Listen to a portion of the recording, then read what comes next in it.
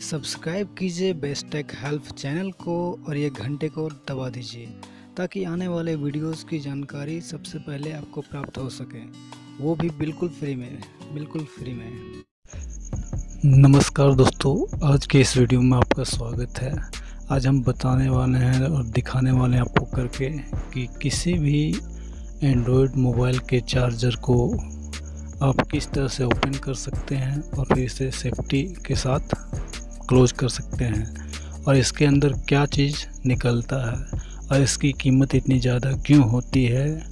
जो कि मार्केट में आप ओरिजिनल लेना पसंद नहीं करते हैं। तो इसी मुद्दे में आज ये वीडियो हमारा है।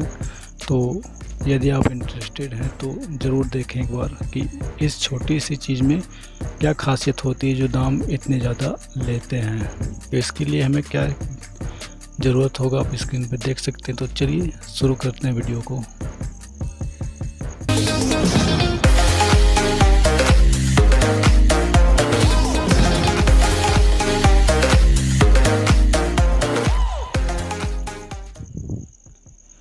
तो दोस्तों, इस तरह से एडेप्टर अपने लगाना होता है और फिर ये डाटा केबल और उसके बाद आप अपने मोबाइल या भी, या फिर कोई भी डिवाइस को आप चार्ज कर सकते हैं। ये हमारे पास एक स्पीकर था, मैंने आपको दिखाया।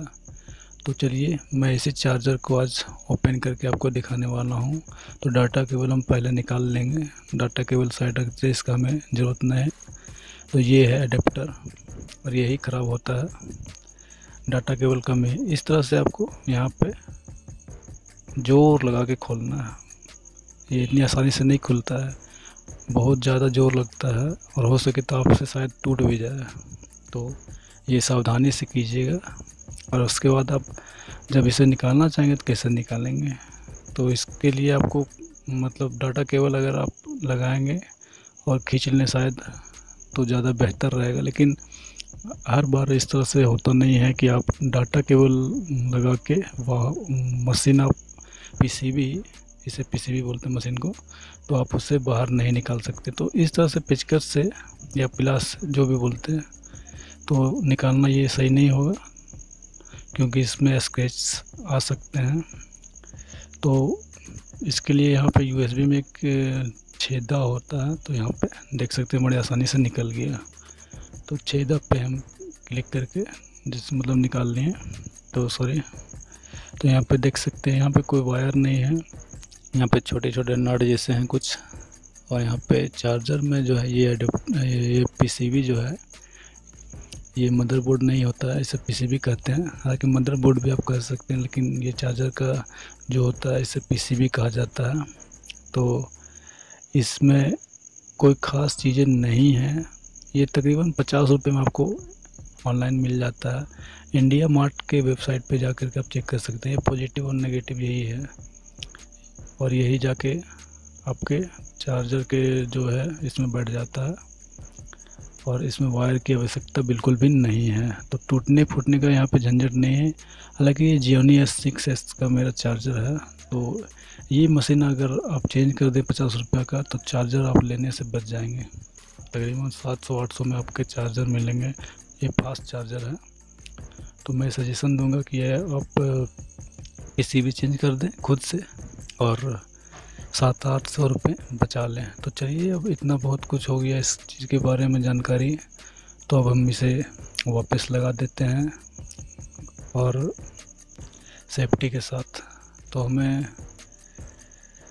इसे देख लेना होगा। ऐसे नहीं लगाना है।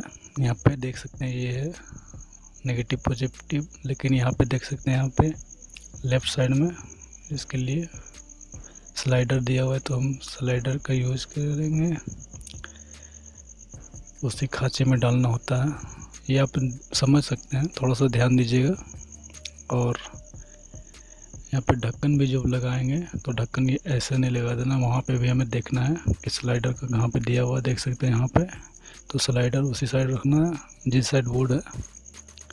और आसानी से ज़ोर से दबा देना है, लेकिन उल्टा ना लगाएँ, ख्याल रखें। वरना टूट फूट जाएगा तो अच्छा नहीं दिखेगा।